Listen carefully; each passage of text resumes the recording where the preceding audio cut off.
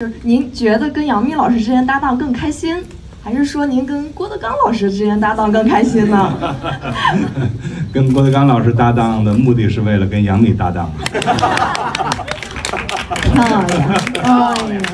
所以我跟你讲，你们出这种问题完全难不倒于谦老师，就是给自己挖坑。我告诉你们，好，这样吧，我们跟十点观影团的朋友们一起拍张照吧。谢，我们递个话筒，哎，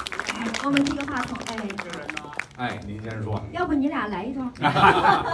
谢谢各位吧啊，领导辛苦啊，各位好啊。这个谦哥最近太辛苦了，我们俩前些日在贵阳有一专场，演完之后我飞回来，他连夜就去呃重庆是吧？对，重庆、上海一圈儿，然后到今天这儿才见。然后明天中午我们就飞英国，然后是欧洲巡演，得走一个月啊，这个太辛苦。本来说今儿我说来不了了，后来谦哥说说杨幂在，我说我得去啊。嗯，我们够十年没见着了啊，这挺好看啊。这个刚才小刚导演说的好啊，就是一个火锅店，一个两居室就把活干了啊，这不就多省钱了啊，挺好。你看谦哥这么大的戏，从头到尾都是他串。我想问一下，我是不是算联合出品人了？就 得嘞啊。那就送去一份祝福，大伙儿奔走相告，好好传一传。五一期间多看看咱们这个啊，没有一顿火锅解决不了的事儿。票房大卖，师哥您辛苦，大秘密辛苦了啊！各位辛苦辛苦辛苦，谢谢谢谢谢谢。哎，真应您那句话了，您就是因为那个跟杨幂见面才会跟她搭档。嗯，那个。其实我就别说了，都是哥哥姐姐，就我岁数小。完了呢，我肉多呀，我就住两期间画，住票房大卖，各位多辛苦了。完了那个，我先包几场，行吧？哎，得这么解决了。我们这目的就是来还一个事儿就是，下次请我看电影，换一个座大一点。太挤了，适合坐第一排。好嘞，谢谢。那看完了这部电影，非常高兴。六点半的电影，四点钟我就到了，我还特意到旁边。那个正大的那个大厦里边吃了一顿火锅。哎呦啊，呃，看完这电影感觉啊，呃，编剧好，导演好，演员好，名字好。为什么说名字好啊？就是有“火锅”俩字儿，因为这个火锅给人的印象就是红红火火、热气腾腾，它就预示着五一全国放映期间肯定。大卖爆棚，稳居票房第一。啊，你大伙说，你怎么有这么大信心呢？因为这个电影啊，排的好，这是一个原因。再有一个原因，也是最最重要的原因，主演里边有于谦，所以呃，在这里衷心的呃拜托各位，五一节期间。请您的家人、您的亲朋好友走进影院去观看这部精彩的影片。谢谢大家。谢谢，不愧是亲师傅呀，他这宣传太给力了。谢谢师傅。嗯，师娘说话吗？师娘，师娘不说了。好。主演于谦、林秀香，还有特别出演黄小磊。好，欢迎各位，欢迎各位。来，我们我们的互动是什么？来，这样，好好，先这样，先这样。那个各位老师，刚刚我们在等你们的时候，现场排练了一遍咱们的 MV，用各地的方言唱的那一句，这样好不好？来，小伙伴们，现场的观众朋友们，我们大家一起唱给我们的所有的助演老师好吗？好。来，我起个头，大家一起唱。没有一顿火锅解决不了的事儿。你往下去说，出来人间百味儿。没有一顿火锅解决不了的事儿。如果还有别的事儿，那就两半儿。来，掌声先送给我们台上的所有的好朋友们，好吗？好的，来，小伙伴们，我们到台下休息，然后把舞台留给我们的主唱老师，留给我们的主持人。好，谢谢，谢谢各位，谢谢各位，手机这么嗨。好，谢谢，谢谢，谢谢。好，各位好，欢迎各位来到五月一号全国即将上映的电影《没有一顿火锅解决不了的事儿》西安首映场的现场。你们觉得电影好看吗？还用陕西话怎么说呀？好看，厉害，厉害！哇，谢谢谢谢，我们请各位主创先跟大家打个招呼好不好？好，来有请导演。喂喂喂喂，呃，大家好，我是你们刚才看这部片子的导演于胜，希望大家多多支持这部片子，谢谢。大家喜欢吗？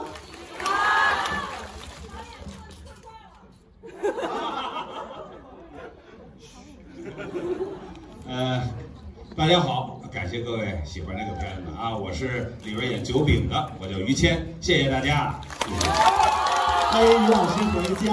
好，首相，大家好，我是李九霄，在里面演七万，见到你们很高兴，希望你们喜欢，谢谢。好，谢谢谢谢谢谢。九霄特别可爱，所以虽然这个陕西话有点粗溜，但是今天说了一路，真的棒。小磊，他这粗溜的特别好，那我我都也想粗溜一下。哎，你说一下来。大家好，大家好，我是黄小磊，我也不知道我演了个谁。哎，你们发现了小磊吗？在电影当中。发现了。哦，都在剧透。好的，好的，非常开心啊，和现场的各位主创来面对面的互动交流。其实呢，大家特别幸福，因为呢，大家是全国第一批次看到这部电影的观众。那如果大家喜欢的话呢，可以来分享一下你们特别的感受。那同时呢，也可以把你们观影的感受啊，在这个小红书、抖音、豆瓣儿，还有微信公众平台等等各种方式来为我们电影打打 call 宣传一下。但是一定不要剧透哈，谢谢各位的配合。那导演，今天我们在现场要跟大家一起来分享他们的观影感受。有没有特别的礼物送给大家？呃，为了能让你们更加踊跃的跟我们说话啊，其实我们我们所有的人特别期待大家的观感啊、观后感。那么前十位跟我们呃呃谈观感、提问题的好朋友们呢，我有一个很特别、很珍贵的礼物，现在买都买不到啊。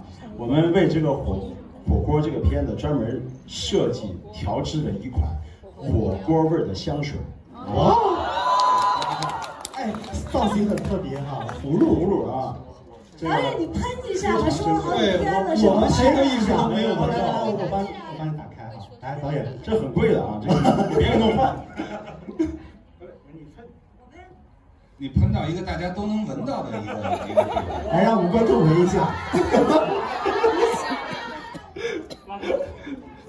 到底火锅味儿的香水是什么味儿啊？我也好想闻呀。呃，不会是牛瘪火锅的味道吧？来，我也要喷，我也要喷来来，我也闻，我也喷一下，我看一下什么感受。叉大爷要喷一下。我之前都喷了半瓶 喷了半瓶好，真的很好，对，很特别，它很特别。它肯定不是辣油味儿。主要这个造型很特别哈，我希望呢大家可以把它留作纪念。来，现在现场交给我们的观众，大家有什么问题？踊跃发言。啊，先请千大爷来选一个吧。谦大爷在这儿，谦大爷在这儿，谦大爷怎么在那儿呢？来，来那个那个小姑娘，对，啊，对，千大爷比较怜香惜玉啊，把香水送给女生。来，你说，这都是大老爷们，跟人抢什么香水？好，开始你的问题，来，没问题，就是举手这。是你们就是第一次合作拿的奖啊，是和导演是不是第一次合作啊？来谈和导演合作的感受是不是？啊，来。而且人站起来才想的问题，还是单纯想着香是吧？你这样，你再想想问题再说，一会儿，好吧？一会儿。还有机会下面啊。来，兄弟，你说吧，就你吧，就你吧，就你说吧，啊。啊，你来拿放来。首先欢迎强大你来西安，我知道你是南平人，你说回乡，你算香的，对吧？香的。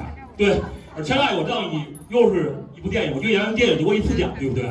一部电影来说，希望这部电影能得个奖。就来说，我看片大爷原来喜欢摇滚，现在开始来说唱。我觉得原来就是听相声，听你听你唱过那个《苦行僧》啊，假行僧，假假行僧，假行僧，假行僧，对。OK，就是我想现在现场听下你唱首假假行僧可以吧？现场听一段，因为好久没来西安开那个相声专场了，也希望今年能跟郭德纲老师一块来西安开相声专场。我们在西安，感谢你来看相声专场，因为之前好几年没看你演出了，毕竟我们看演出的时候在高峰，我们上应该上周大上周在延安看高峰，我希望你们来西安。谢谢兄弟。现在能唱一段？我你你听我说啊。首先谢谢兄弟，这个我肯定跟郭老师去把这个这个这个期待，把你们的期待转达，然后我一定力求他，然后来西安演出来上演，没有问题。但是，我还有一个小的抱歉，我跟郭老师打过一赌，我发过一毒誓，不在舞台上唱歌。哦，去年你唱过一个。对，以前我唱，你看最近几年我都没唱，练了已经很多年了，在演出当中我都没唱过。这次是导演力邀做了个 MV，所以我也算没违背誓言。但是舞台上就算了吧，兄弟，好吗？对了，对了，还有小要求可以不？好，谢谢。就是小要求，别别的要求没问题。小要求就是丫头特别喜欢你合影，可以不？完事儿以后找。完事儿啊，好，谢谢谢谢谢谢。非常感谢。好，来导演选一位观众吧。啊，让我选，我选后边的。后边有没有举手的？我看后边好多啊。呃呃，穿白衣服的那个啊，最右边那个那个女生，白衣服最右边的女生。对对对，白衣服举着左手那个站起来，你站起来。啊，对对对，戴眼镜戴眼镜的，戴眼镜的。你好，好，嗨，你好。导演，你的视力太好了。我是蒙着说，就看一块白。你好。看完电影是什么感受啊？我感觉情节特别紧凑，看得特别过瘾。我们西安的萌妹子，我这样就给你吓了。没有，我太激动了。我从初中的时候就特别喜欢听您讲的相声。亲哥啊，这肯定不好，这个。好。初中，对，初中就出生了。好，好，继续。你说，你说，我我有一个问题，好我想问您，那个上一次烫头是什么时候？我觉得今天已经开始德云社了。那个姑娘，你看我这戏里烫头了吗？啊？没有，烫你你看没看戏啊？你你看我这戏里烫头了吗？我我我我你能猜出来吗？你。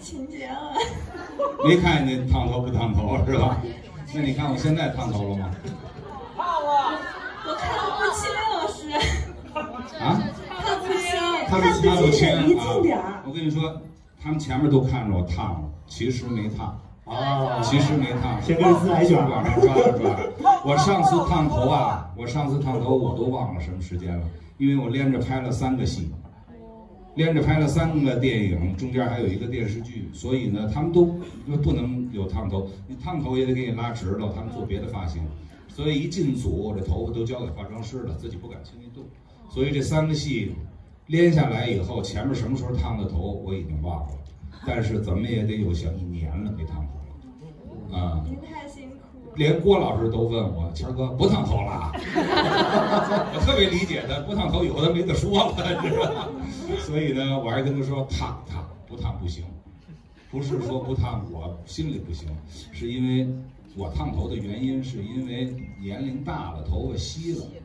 啊，互相烫了以后，这个头发能互相支撑一下，是吧？显得这个发质还稍微厚一点，其他就没有。呃，其实我也不是在意形象的人，关键是我在舞台上要给观众看，让观众看着舒服一点，是吧？我每次听您说相声抖那包袱，我都笑。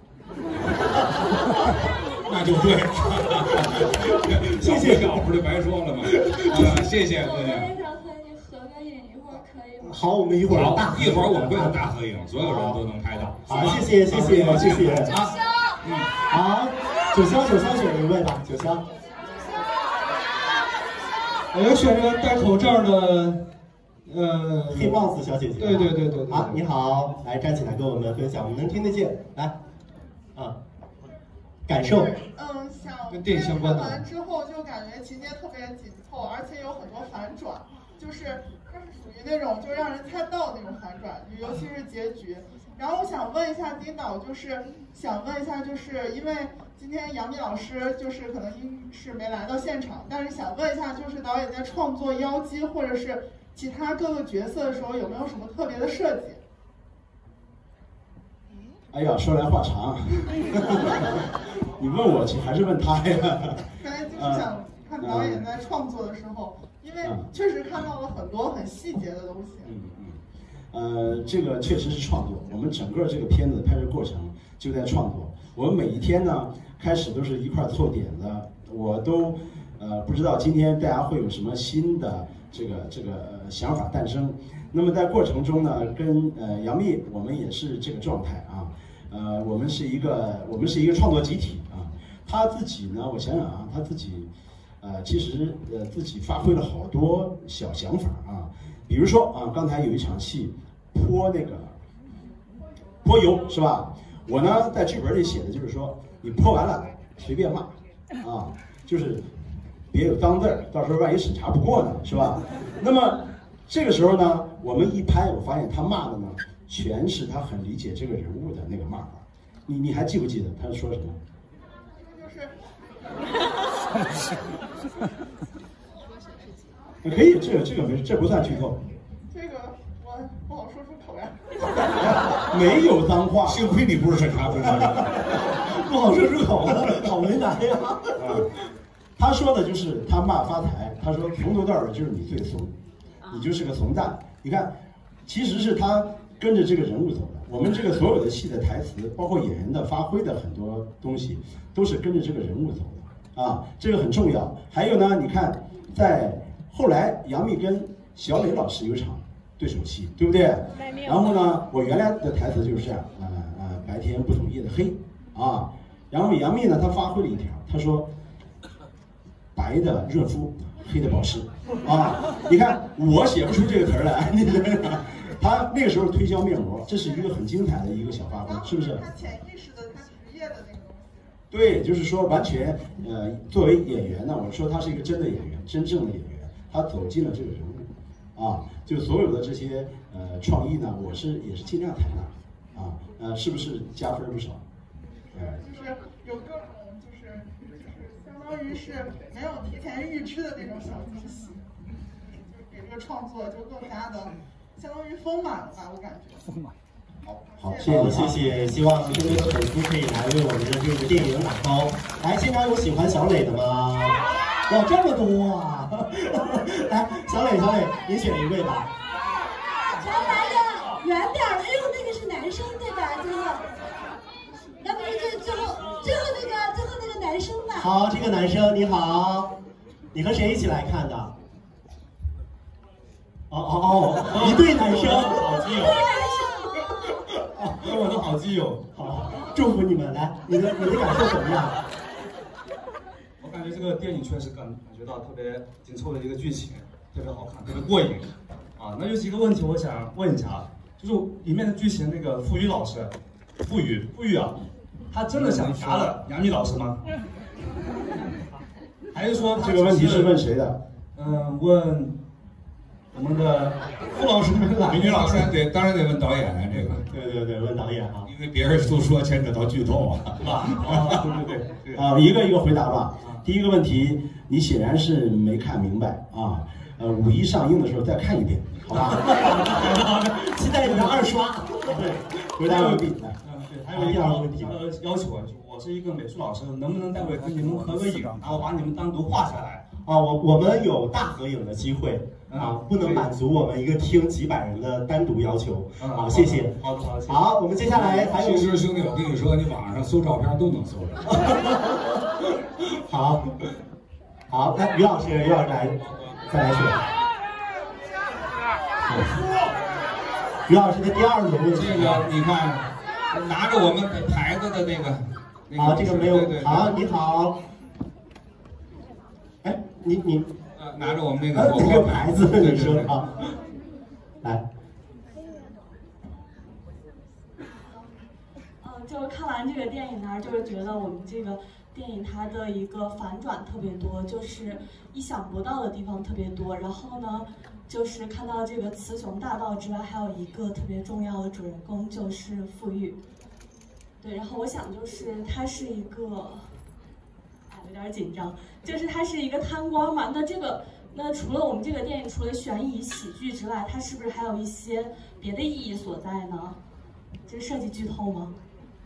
这个还好还好，呃，这个我我们呃做完这个片子呀，我们也在网上看有一些观众的观感啊，因为做了一点小点映啊，然后呢，我跟谦儿哥都特别欣慰，就是大家看这个片子呀，呃，多多少少觉得这里面藏了点道理，但我们又不是特别教化，是吧？就不是特别点名要讲什么大道理，其实讲的是小道理，但是呢，主要是融到了故事里面去。呃，其实讲了不少东西，然后大家各取所需，能够品到什么就是什么。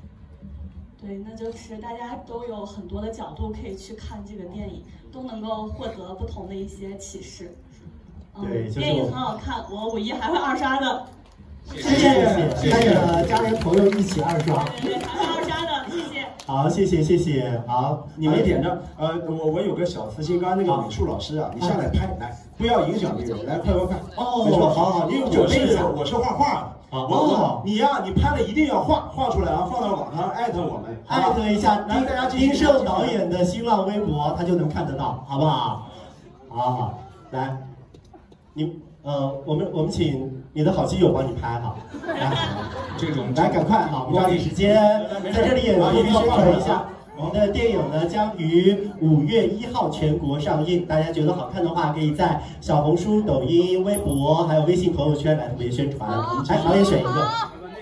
小磊选啊，小磊再选啊。哎，我我我能不能选一个全全场年纪最小的？因为导演说九岁就能看得懂。哦 谁三岁啊？你已经有香水了，你好意思吗你？对，你都有香水了。你最小，看起来。来，这位戴眼镜的小妹妹。你那么小就考上大学了？因为就是比较显小嘛。然后首先就是想感谢导演带给我们这么一这么一部就是悬疑喜剧，然后这种题材比较少嘛。然后包括整部电影从它的音效，还有场景，还有这种，我注意到很有有好几个场景场景转换，我觉得做的特别好。然后想请教一下各位主创们，就是我觉得语言是非常重要的。然后这部电影主要也是就是用重庆话来说嘛，呃，然后想请教主创和导演，就是在学习重庆话的时候，就有没有什么心得分享给我们？不包括我，呃，几位演员说吧。就我感觉也不包括我，主演们的这里就包括我，应该不包括。这这里就包括我，因为他们俩都是对，因为九霄和小磊就我一个人是北京人。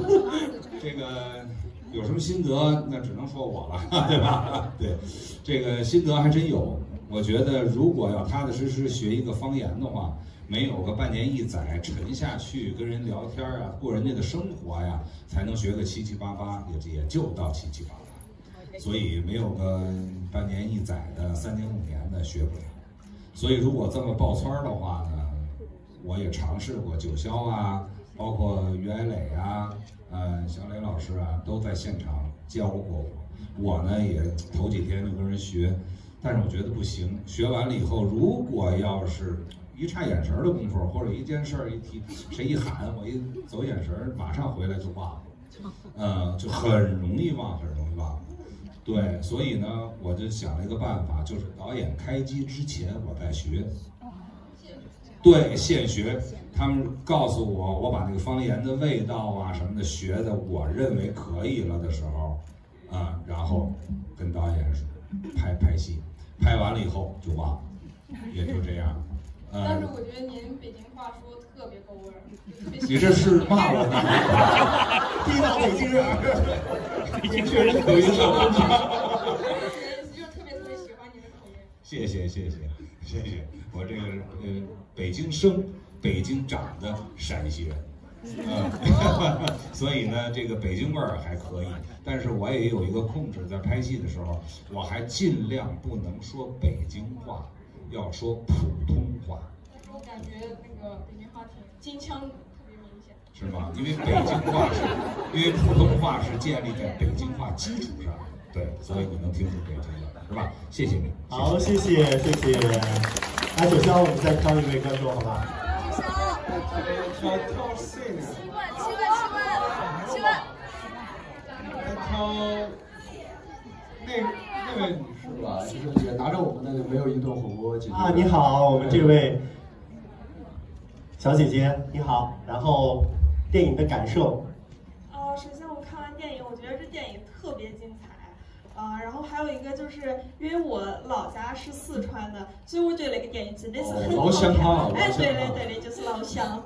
然后我想问下九霄，就是你你在拍那个电影的途中有没有啥子呃，就是趣事跟大家分享一下？有啥子趣事啊？对嘞，人工呼吸。我觉得趣事太多了，因为我们我我因为以前吧，我就很呃基本上没有拍过喜剧元素的。印象最深的，我觉得就是撒钱，真的，你们你们不爽吗？对啊，我的我我记得我当时我看到那么多钱，然后然后我问导演我我我能在里面游一下泳吗？他说哎你可以游游游。我第一次尝试到了在钱里边游泳有多嗨，嗯我都忘了拍戏。后来我们拍完那场戏少了几张钱啊，哎，怎么回事？反正不是我拿的。还有就是，我觉得这个场景布置的真的是特别用心，因为我就是小时候也老去戏院看戏什么，跟我爷爷他们，我就觉得看这电影就感觉自己好像身临其境的一样。就谢谢导演，然后谢谢就各位演员，谢谢大家，就是给我们带来这么好的电影，谢谢。